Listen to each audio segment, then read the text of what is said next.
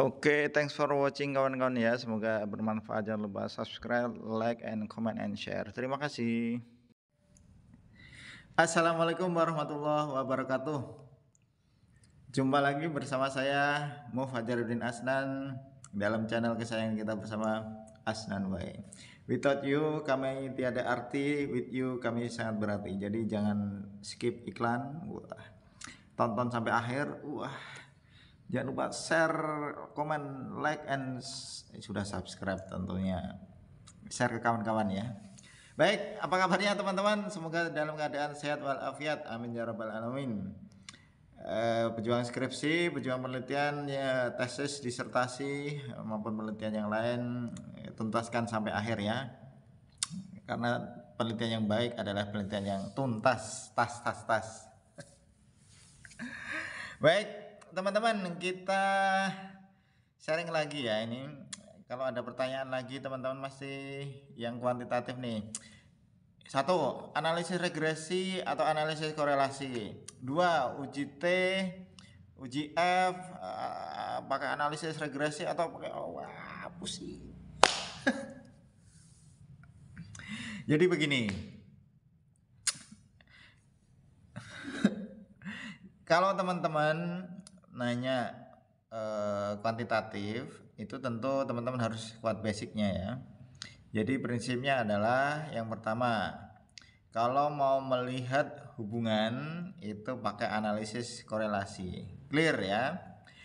Kemudian kalau mau melihat pengaruh maka itu eh, tengok analisis eh, regresi. Cuma teman-teman cuma ingat ya Nanti kalau eh, ditanya apa bedanya nanti uji T, ANOVA, ya uji F itu sama eh, analisis korelasi, eh analisis regresi itu kuncinya adalah kalau uji T dan ANOVA, uji F yang ANOVA itu adalah untuk mengetahui ada tidaknya perbedaan antara dua sampel. Perlu di underline dua sampel or more atau lebih Sedangkan yang untuk analisis regresi itu adalah untuk mengetahui ada tidaknya hubungan ya, ada tidaknya hubungan antara dua variabel. Ingat, dua variabel or more atau lebih. Ingat, ada dua perbedaan di situ teman-teman ya, different yaitu yang tadi dua sampel atau lebih kemudian yang ini itu adalah dua variabel atau lebih. Yang tadi itu uji T, uji F itu kan dua sampel ya atau lebih. Itu pakai uji T atau uji F gitu ya ANOVA. Kalau yang untuk uji analisis regresi berarti itu untuk tahu ada tidaknya hubungan. Dua variabel. Jadi kalau dari statement gue tadi. Wes gua gue. Jadi gimana tuh? Misalnya ya eh, peneliti itu mau mencari hubungan ya. Hubungan X dengan hubungan Y. Ternyata sudah di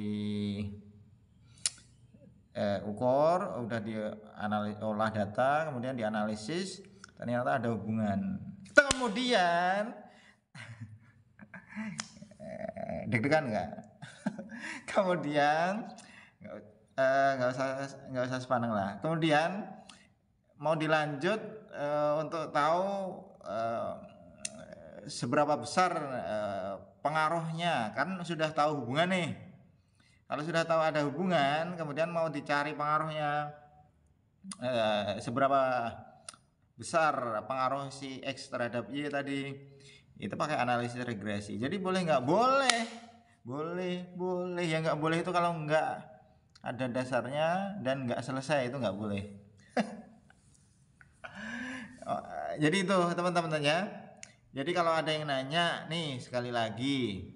Pak saya kan eh, judul hubungan. Kemudian saya pakai analisis korelasi. Oke. Saya ngitungnya pakai SPSS oke asal nggak salah input kemudian datanya jenis datanya yang saya ambil itu eh, apa namanya uh, ordinal atau rasi ordinal atau nominal. Ordinal pak karena saya pakai angket kuesioner yang sangat baik baik itu oke. Okay. berarti saya boleh nggak pakai korelasi produk momen? Oke okay, boleh. Kacau itu salah sudah panjang-panjang salah.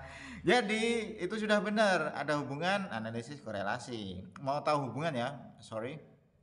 Mau tahu hubungan analisis korelasi. That's right kemudian uh, pakai bantuan SPSS that's right kemudian oh, saya jenis datanya itu uh, apa namanya ordinal karena pakai angket kuesioner yang ada skala-skalanya itu. That's right kemudian saya pakai uh, rumusnya adalah korelasi produk momen. Itu yang wrong. Nah karena endingnya itu ternyata sakit. Nah, sakit gigi dikasih sakit perut. Nah nggak nyambung. Padahal itu semua semua sudah oke okay sampai ke itu tadi. Berarti yang benar apa? Pakai ujinya adalah pakai karena itu ordinal berarti start non parametric maka di situ dia pakai uh, tahu kendal atau rank Spearman gitu ya. Nah itu. Kemudian Pak saya mau cari pengaruh tetapi saya mau cari dulu ada tidaknya hubungan karena untuk memastikan dulu se nah, kan logika aja pak. Karena kan masa kita langsung cari pengaruh padahal kita nggak tahu tuh ada hubungan atau enggak betul? Terus saya ini pak apa namanya eh, pakai analisis korela analisis regresi setelah saya nganu analisis korelasi tadi oke okay. Nah, saya tanya, analisis korelasinya kamu gimana? Jenis datanya gimana? Saya Pak, jenis datanya itu interval eh, dan interval atau rasio karena saya prestasi hasil belajar. Eh, saya pakainya ujinya adalah eh, korelasi produk momen atau KPM, korelasi produk momen. Boleh nggak Pak? Boleh. Itu benar. Karena sekali lagi teman-teman judul boleh ada identitas hubungan atau pengaruh. Tetapi eh, apa yang teman-teman ukur variabelnya itu mengukurnya pakai apa jenis datanya apa itu penting. Kalau tadi pakai eh, jenis datanya tes dia pakai interval atau eh, dia masuk di interval atau rasio maka dia pakai korelasi produk momen. Eh, analisis korelasinya benar nggak? Benar. Nah itu itu ya teman-teman. Jadi yang judulnya hubungan pengaruh tenang tutup mata hmm, sambil dengerin video saya ini sampai akhir kan. Nah terus nanti kalau masih bingung nanti kita sharing-sharing. Gitu ya. Deal? Yang jelas itu tadi teman-teman ya. Apa bedanya itu tadi bedanya itu tadi bedanya itu tadi dan bedanya ini. Semoga ada manfaatnya. Tetap semangat. Berjuang skripsi selesaikan sampai akhir optimis dan sukses selalu. Wassalamualaikum warahmatullahi wabarakatuh.